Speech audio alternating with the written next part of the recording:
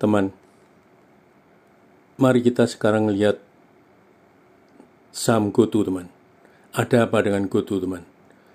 Karena saham ini tidak pernah naik kisaran sekitar ya maksimum 86 antara segitu-segitu aja teman. Kita lihat teman. Dalam pergerakan satu bulan teman. Kita lihat harga tertinggi itu hanya di 1 Februari itu pun mencapai harga 92 teman. Sesudah itu menurun terus teman. Menurun terus itu mencapai harga 84 itu di 5 Februari. Sekarang kita ambil contoh aja. Yang sekarang itu harganya 82. Teman. Jadi dengan melihat ini teman, teman bisa memutuskan. Kalau mau berinvestasi sekarang ini harga masih rendah teman. 82 dengan asumsi bahwa harga naik itu akan terjadi karena faktor-faktor sentimen sosial politik dan keamanan teman. Kita anggap aja bahwa eh, dengan bergabungnya TikTok ini bukan isu yang negatif teman. Sehingga bukannya malah naik tapi malah turun. Kalau anda teman beranggapan bahwa isu bergabungnya TikTok itu positif maka saham itu nantinya saya akan pesan naik teman. Kita lihat teman. Kita lihat di grafik pem ini teman. Pembelian teman. Kita melihat antara hukum penawaran dan permintaan teman kalau di harga 80 82 itu permintaannya itu 6 juta 800 teman.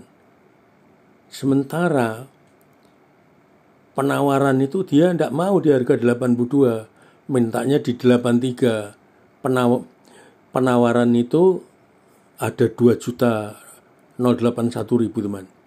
Kalau melihat demikian dapat dipastikan harga akan naik teman.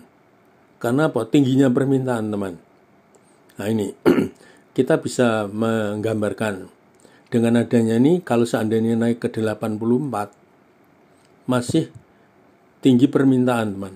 Artinya apa? Dengan permintaan yang lebih tinggi daripada penawaran biasanya akan naik. Dan kalau harga itu bisa naik 85 masih terjadi permintaan dan penawaran lebih tinggi penawaran. Dapat dipastikan harga bisa menuju ke 86 teman. Dengan maksimum 86 hari, hari ini. Kalau tidak 85 bisa tercapai 86 juga akan tercapai. Kalau ini ada selisih 3 rupiah saja Anda memiliki ya sekitar uh, eh, 300 slot lah umpamanya. Ya Anda bisa mendapat keuntungan sekitar 100 ribuan lah ya. 300 slot itu kan berarti 300 ribu. 300 ribu kali kali satu rupiah ya eh, 300 ribu ya 300 tiga 300 slotnya berarti 30 ribu. Ya sekitar 30 ribu ya teman ya. Sambil belajar artinya apa? Kita bisa men meneliti sejauh mana naik turunnya saham itu dengan melihat hukum permintaan dan penawaran teman. nah kita lihat lagi di sini teman.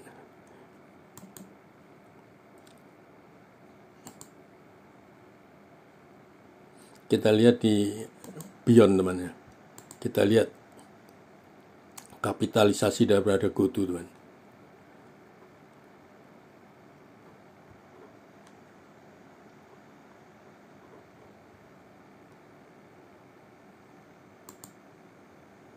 Nah, sebenarnya di, yang diperdagangkan juga banyak teman.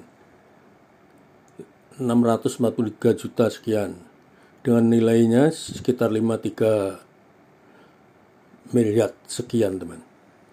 Jadi dengan keadaan demikian itu dapat dipastikan kalau melihat hukum permintaan dan penawaran tadi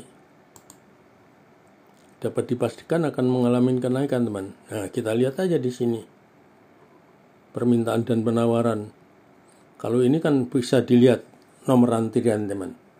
Ya dengan harga 8 permintaan 383 penawaran 83 banyaknya 2 juta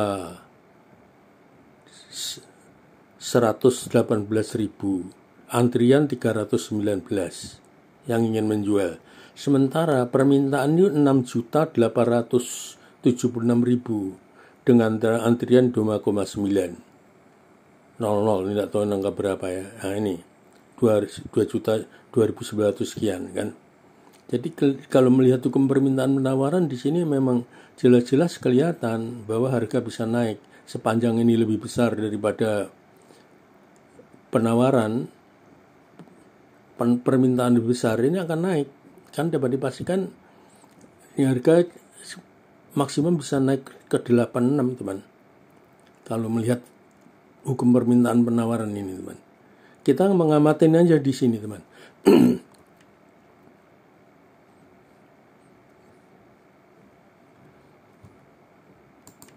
Ini kita lihat di di Beyond teman ya.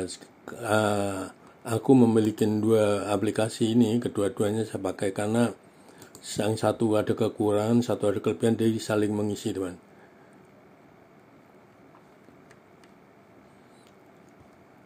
dengan saham ini aja banyak orang yang mengalami kerugian teman. Karena saham itu tidak naik-naik.